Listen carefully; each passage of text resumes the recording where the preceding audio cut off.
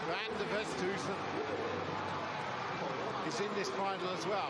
51 metres so far in the second round. She needs more to get up that leaderboard. Good attack, lines it up, pulls it long, and yep, that's going to be around 54 metres for the other South African in this women's javelin final. They're still looking for the next Sunette Viljoen, who's uh, South Africa. That final stride.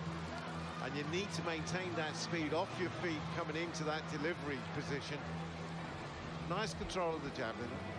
And Jana van Schalkwyk, uh, javelin throwers in that neck of the woods. Su of China, 53.77, second round. Into the third round now. She'll hope for an improvement on, on this. Those knees heavily strapped. That's a better throw. Not great flight, seemed to just hang a little bit. And as a result of that, just came down, but it comes down point first. They're stopping very quickly here. They have to because they go over the line otherwise.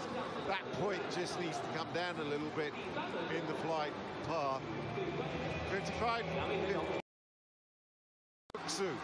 of Tur Turkey. No throw in the first round. She's the quality in this competition. Oh, and I think she set that one up. Yes, just below 60 metres for Turkmen. Ezra Turkmen. Sorry, not Turkmen, this is Tugsuz.